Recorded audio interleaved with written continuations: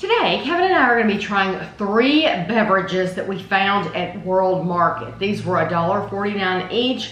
Uh, I have the Hollywood Original Shirley Temple Soda Pop. Uh, the Sioux City Prickly Pear and the uh, NuGrape Soda. So we're gonna, I'm gonna tell you a little bit about each one. Why don't we try the Shirley Temple first? Hollywood's original Shirley Temple. Take a stroll down memory lane and sit at the grown-ups table as you sip on a classic Shirley Temple soda pop. As a child movie star, Shirley Temple would be dining among adults and due to her age could not drink what they were served. The Shirley Temple drink was said to have been created for her. In 1987, Hollywood's original Shirley Temple soda pop was first produced. This iconic drink has withstood the test of time and is still enjoyed by children of all ages.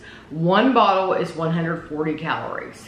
I remember um, our church parties when we were when I was a teenager. Well, younger than a teenager. Mm-hmm. She would always make Shirley Temples. It's like cherry. The one she made was cherry. No, that does have a, a cherry. It does taste like cherry. Yeah. How did Yeah. she make them? Um, I think she took like cherry flavored um, carbonated soda Right. and like gi- ginger ale or Oh, okay. or, uh, or Seven Sprite or or something like Up or that. something Mix, like. just mix them together. Oh, okay. And put cherries in it. I can honestly say I've never had one before. Yeah. This is the first time ever. It's good. I actually like the one she made better.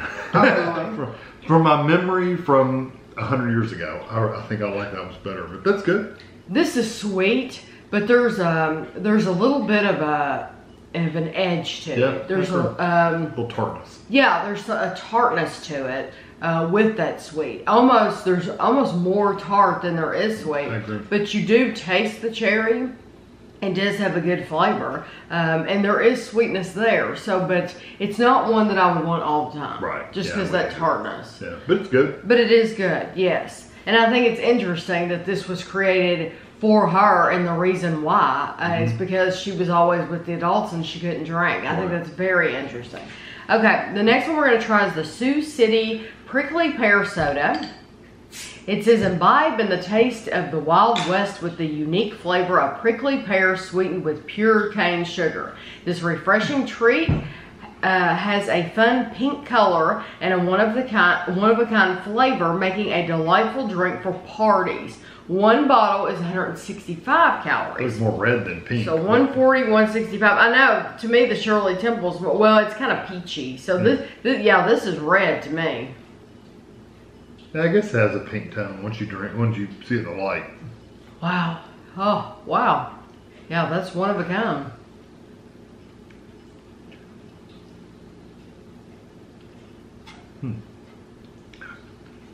That's It's interesting. I don't Yeah. think I'd want to drink all of that. No.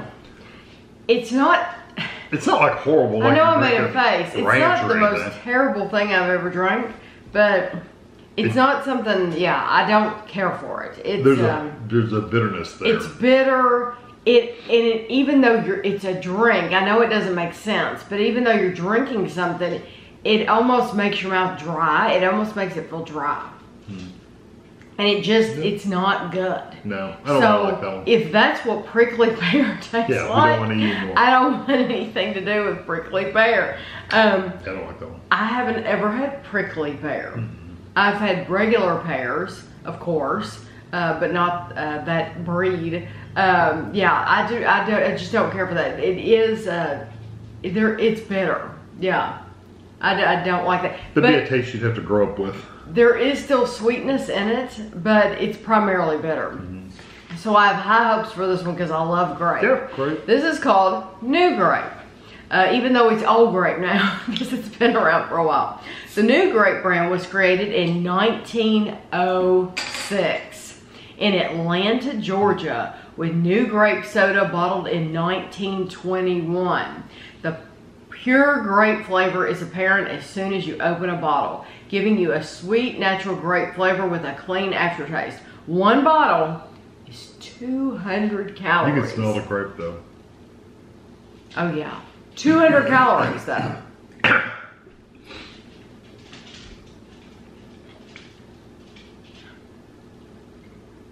That's very nice. Honestly, for as many calories as it has, I expected it to be sweeter. I did too. Like Yeah. like a crush, a grape crush. Yes, exactly. If you're comparing that to Grape Crush, Grape Crush is sweeter. Yeah. It has more of a grapey flavor too. Yes. Almost So- like a grape juice. The Yes. orange crush. I mean the grape The crush. Grape Crush. So if you're used to drinking Grape Crush, then I think you're gonna like it better because it is stronger grape and it's sweeter. That this is very good. It is if, good. if you haven't had a Grape Crush, then you would probably be very content with that. Mm-hmm. Out of the three, definitely that's my pick. Yeah, it is Um.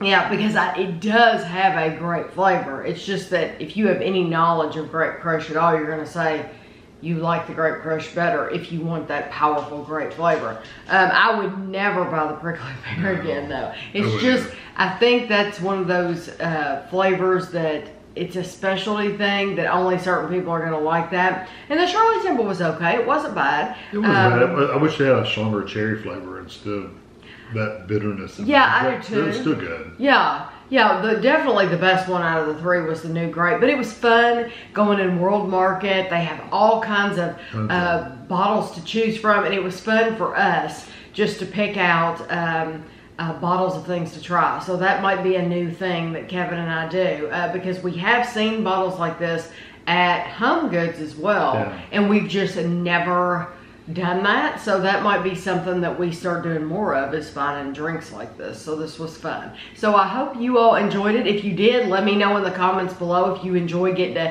hear about them and if you've had any of these if you've had prickly pear let us know what you thought about it. And thanks for watching